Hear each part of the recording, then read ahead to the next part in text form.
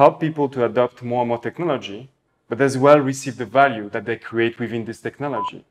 So from many to many instead of from many to few. And the goal of the Swissborg venture is to invest in projects that facilitate these things. And I guess it, it leads us to, to the next discussion about game, but uh, I think Let yeah. me ask a question.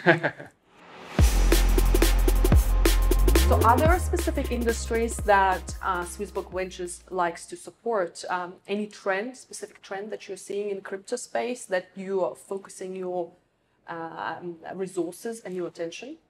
That's a very good question. So one of the trends we are very excited about is game. It's game that leverage blockchain and crypto technology to integrate within their experience. And the reason is what we witnessed last year in 2021 is mass adoption of crypto, or we like to believe it, right? Um, but I think the part where as technology we fail is to help people not only to speculate on crypto, because most of the use case is just buying crypto, and just waiting for the crypto to go up. But reality is most of the crypto, the beauty of crypto as opposed to stocks is they can be used. They have a utility and they can, you can leverage them to experience something within games or other experiences. So as technologists, I think we fail to help people to realize that, to invite them to experience crypto beside the speculation part.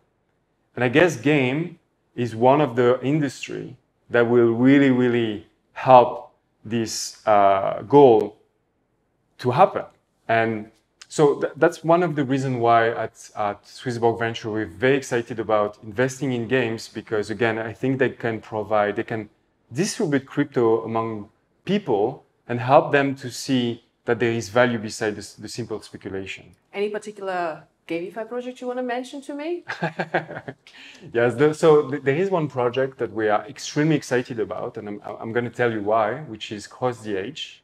Uh, I think first of all they are European, and as I mentioned, you know, we, we like to uh, to be part of the European entrepreneurship. I guess there is, of course, uh, I respect a lot what's happening in the US, in Asia as well. There is incredible growth, but I, I guess uh, as well uh, I want to believe what happening in Europe as well is, is very strong. So the reason why I love Cross the so much is um, we've experienced uh, last year already big growth into uh, what we call GameFi, so which is gaming uh, within blockchain and cryptocurrencies. And one of the biggest example we can we, can see right now is Axie Infinity. Axie Infinity have been this game that you know, generate a billion dollar of revenue in one month that had been adopted in, in Philippines, like half of the population was playing to. So it was a good use case just for people to see game can be big in cryptos. But I think what with Axie Infinity and all the other guys that more or less were copy paste of what Axie Infinity were doing, what we have not seen is uh, the enjoyment uh, the, the pleasure to play because at the end of the day, and that's why most of the industries say, uh, oh, now it's play to earn. Play to earn.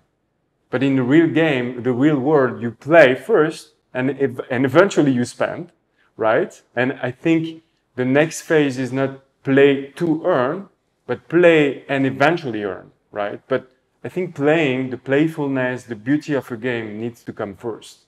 And we haven't seen that. I think when you look at Axie Infinity, it's a very boring game to play. You're just playing because there is an economic that facilitate you to play. And, mm-hmm. and what we see actually is just it, the, the adoption in Europe and other countries very, is very low. It's just countries with uh, a lower income that just play because of the financial incentive. Mm-hmm. But that's not what the game is about. Mm-hmm. What I love about yeah. and, and that is why uh, um, Cross the Ages is play and earn. It's not play to earn, because you like I don't. I'm not a. I'm not a gamer, but that's something I want to play. Um, the artists involved who were involved in Avatar. I mean, and and other you know iconic movies. How would you not want to play that, right? Exactly, and that's that's why we were so excited about uh, Cross the Age because we really, first of all, we, we, we capture the passion of the founder. Mm. That's the first, I think that's the first point of connection is you have to have people that are passionate not about the economics, but about the game. They want to say to, to bring something on the table. It's just at the end of the day, you design a game and you inject crypto and blockchain economy because it gives even a stronger sense of community. It helps people to create value within the game, and this value belongs to them. It doesn't belong to the game developer, which is the beauty of it, right? But on the first place, you design a game that is great to play, that can compete with Magic card uh, in, in, that case, or all the big guys that we see, right? Uh, Hearthstones and, and, and all these massive players are very active into uh, card games. Um, and, and I think that, that for us, that was the first criteria is can you, are you in a position to design a game that even without the component of blockchain can compete with what, what existing out there because people are, are spending money today to play great games. And then, it, of course, because our mission is to, again, help people to get access to the value they create within um, technology and within virtual uh, reality having a, a group of people at Cross the Ages that develop great games with great narrative, beautiful cards, and as you mentioned, avatar people coming to help, and, and being able to, to, to assemble, to build a team of so great talent. But in top of that, understanding that it is time now for games to unlock the economy, to help user to get access to this economy that was, that was a no-brainer and, uh, and we're very proud of, of being part of this uh, adventure. What, uh, what do you see as a trend in GameFi? Um, it's all great to create a game. It's all great, people coming and playing, and they play first, they earn later. But what is what's going to come next, right? Because it has to go somewhere. Yeah, that's a good question. I think I see three trends. Mm-hmm. The first one, as I say, is moving from play to earn to play and earn. So enjoying to play and eventually earning something, either by accumulating reward in the game through NFTs or coins, or become by becoming an esports star. I think there is no reason why today, um, if you're very good at playing a game, it couldn't be your your work. It couldn't be your profession. I think we've seen that in sports. I guess 100 years ago, it was almost impossible. If you are good at football or tennis, you just play for fun, right? Most of the people play for fun, but they couldn't imagine themselves being professional because the infrastructure was not, you know, was not ready. Now we're ready, and I think blockchain is already existing, but I think blockchain will just accelerate uh, because for now it's very centralized. It's still a few teams. It just helped to decentralize and have a much more local approach. The second part is, and we see that already, is as well what comes within games. Um, so with games come guilds. So we see tokens uh, that merge the concept of DAO, so decentralized autonomous organization. What they do is they recruit players to play within games and they create this concept of guild. So now you can become part of this guild. So you are an active member within this DAO and you play games, you accumulate reward, and you facilitate economy as well, because we know within these games, you need NFTs, you need, uh, eventually you need money, uh, and you, you might be a student, doesn't have the money, must, you, might have the passion for the game, but you don't have the NFT or the money to play with it, but you can find with, through the guilds, so from this decentralized autonomous organization, you can find um, means for you to play and, and bring value back to, to guilds. So I guess so play for play and earn, and then there will be collaborate, compete, and earn, I guess, with the concept of guild. And the last part is what comes with this uh, uh, entire economics is as well uh, reaching mass adoption. So if you if you remember Facebook uh, and games was uh, I mean games was a massive uh, growth strategy for Facebook. And I'm, I'm pretty sure you play Candy Crush or you have a friends playing Candy Crush. No, you didn't play to it, but it was it was this massive game, right? I, I, started for ten years, and then I and then I became a lawyer. What do you think? Uh, we have time to play games? But I do remember back then.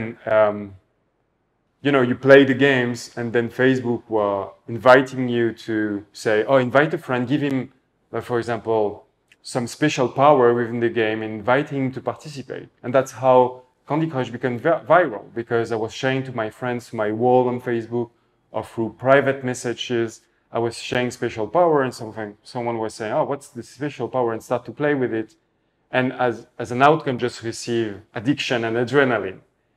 But I guess what um, um, what GameFi and, and, and blockchain can bring to the table is now I'm going to send you special power with the game through your wallet, but it's going to bear value. So then you're going to start to understand, oh, I'm, I'm sending you this special um, sword in the game that help you to have special power. And now you start not on level two, la, uh, level zero, but you start on level two with this player. But it does bear value. It's not just a free sample to use that then you, could, you become addicted to the game and you're going to spend money. You have true value and you're invited by a friend to participate within this game economy.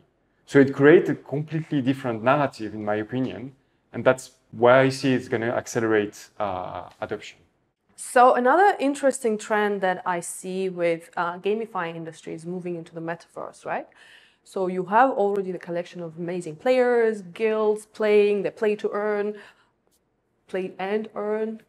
Um, you have to take the crowd somewhere, right? Why not to take them into the metaverse where they can build their own city, where they can build their continent, where they can have, you know, their plots of land on which they farm, stake, and perform other, you know, cool earning activities. What do you think about that trend? Yeah, I think, of course, metaverse is so immersive as an experience that we can imagine the range of the possibilities are just uh, enormous. And, uh, and then when you inject real economy with it, so I'm going to be part of the metaverse and I'm going to have a social activity or work, or I'm going to perform task for a guild, I'm going to receive a salary somehow, or I'm going to receive value for it. Then we can, we can really think that there is a new type of economy that's going to be out there, right? And and I guess as well it comes at the same time where real work in our economy is is you know is disappearing because of either technology or because I think fundamental change such as I don't think people accept uh, their work condition as much as they used to do in the past because the family model has been shaken. I guess when you when you were a young gra- graduates uh, decades ago, you can accept a job that you don't really like because you say, I'm going to build a house, I'm going to buy a house, and I'm going to have a family, and that's what whole matters. And because of, I guess, religion at the same time, but as well because of real estate going crazy, and people don't project themselves buying a house because it's, it's such a commitment, much more than it used to be. But when you go out of school, you say, okay, I'm going to, first of all, I'm going to take a job that I like and and then maybe eventually I'm going to travel and maybe i have kids, right? But then it it, cha- it has changed a lot the dynamic of uh, of the work industry. Uh, and in the meantime, we see already that happening in uh, I think now the U.S. as uh, uh, the bonus interview. So if you show up to an interview, you're going to get paid because pe- people are really struggling to find people co- showing up to interview. It's not affecting all the, the, the jobs, but you know, jobs such as waitress and etc. Is, is already happening. So I guess maybe what we're going to see as well in the future is maybe concepts such as basic, uh, universal basic income, and maybe you will have to fulfill as well uh, something in the game, right? In a in a metaverse, sorry. So you you will have to to do something into the, the meta reality. Whatever is game or not game, I don't know. I think um, what when when I see one of the things that I see is when I see how much sports has grown. I, I, think UFC. I don't know if you're familiar with UFC, which is this combat sport. It was a very small startup 20 years ago, 15 years ago. Now it's, it's this massive sport. Like it's one of the most growing sport in the world.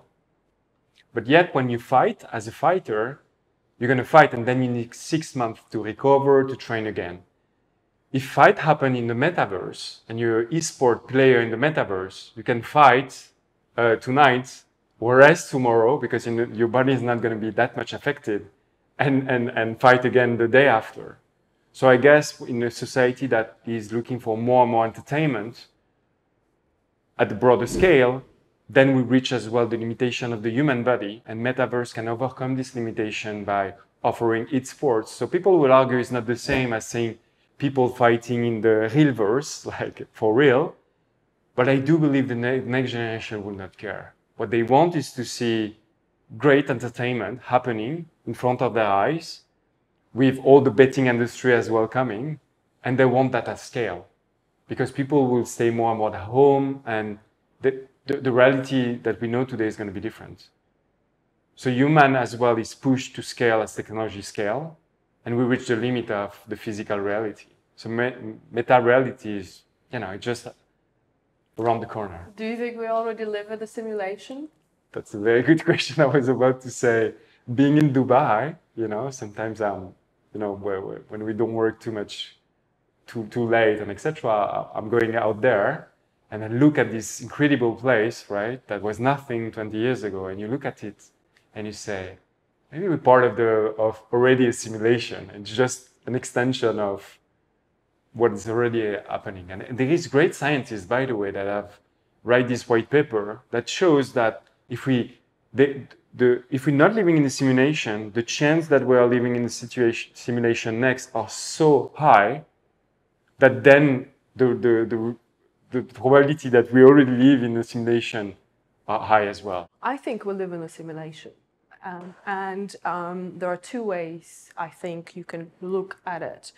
You're either an active player in the simulation or you're a passive watcher of a simulation. And I think people have one or the other approaches in life. I'm sure you meet people and there's such active players in their life, you go, okay, you know, what's going on here? So that person has taken an active player in the simulation role. And then sometimes you see a person who's sitting back with the worst victim mentality you ever can imagine, complaining about everything, getting fat and, and, and, and eating junk. So for me, that's a watcher of a simulation. I'm convinced uh, 100% that we live in a simulation. Uh, we're just now creating our own simulation, metaverses. Why not? A simulation within a simulation. Exactly, who knows? And uh, it's fantastic, and it's fascinating topic. Mm. And, I, and I guess as well, when I look at people like Tony Robbins, all these persons that are so convinced we have this power of materialization, so whatever you imagine can be created out of this world, it, it depends how much you want it. I guess if we follow these rules, we say, oh, these people that have created so much in their life, that we like them or not, um, they believe so much, and all of them, uh, famous actors and etc., that in a way, this is the secret formula, the superpower of the simulation. I'm not a fan of Tony Robbins. He gives me headaches after five minutes shouting around. So I'm not a fan of Tony Robbins, but I, I understand what you're saying. You know, you watch some people literally create their life from zero, from nothing. They, they come from nothing, according to them, uh, and then they, they play through the game to reach, you know, the, um, all the stars they currently have, or whatever you have to do to collect in the game. I don't know. I'm not a gamer. Doesn't show. So we're talking about the games, we're talking about the community, and Swissborg always putting community in the center. Um, is there anything exciting coming out of there? It's a very good question. So I think when we look at the Swissborg ecosystem, so we have the app where people can buy cryptos.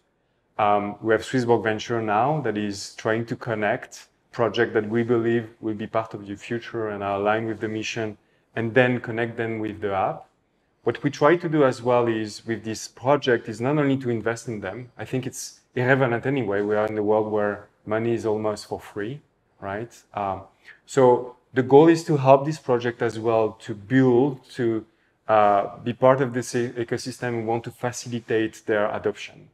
So, for example, if projects are, are very successful, we're going to list them in the. When it's come to game, one of the ideas as well, which connect again with offering our community with more and more opportunity to experience investment. What we want to do with game is we have this secret project. I'm not going to reveal the name for now, but uh, it's it's cooking, let's say. And the goal is to create guilds. So we have this huge community on on, on one side. Most certainly there is players, and we, we already have contact uh, with with some of the, the people. So they will, we have this project where uh, it's going to function as a DAO, so decentralized autonomous organization. People will join, and then with the project we invest, such as CTA, which is a great game, then we want to bring players that can create value within these games, right? And at the meantime, within our community, we have people that are not necessarily interested in becoming players, but they understand there is great economy that are going to be created within these games. So if you take the example again of Cross Age, we have fantastic piece of art, which are cards that can be played, but have a value as well themselves because they are beautiful and they can be used in the game. And they are in limited edition. So guilds, the ambition of guilds will be to bring play on one hand, investor that understand there is value that are created within this economy, and bring them all together to accumulate NFTs and cards and coin and facilitate the entire ecosystem to work all together. And it's great. It's a great avenue not only to bring more value to the project we invest, but in the meantime as well opening more investment opportunity. And I want to say experience opportunity because for me that's very critical. Is how invite people to experience to our community to invest in game and NFT, which is very obscure until now, right? It's very hard to invest because you need the expertise, you need to to follow all these things, and it, it's tiring. So that's the project where that we have as well to facilitate. That was wonderful. Thank you so much for your expertise and for your knowledge and to giving us the insights in, into what is happening in the crypto space, in the GameFi space, and all giving us all the secret information about Swissborg, about all your cool upcoming projects. That was absolutely amazing. Thank you so much for your time. We will include all the information in, and all the details below so people can come and learn more about Swissborg and they can come and learn more about Swissborg Ventures. And I will see you at the AIBC Summit. Uh, and you've been attending AIBC Summit over the last few years, and um, they're very grateful for your support as well. You will be able to meet all the GameFi projects, you'll be able to network with other DeFi projects, and also venture capitalists. A lot of VCs are coming. And I look forward to seeing you in March again in Dubai. It was a pleasure. Thanks a lot. Thank you.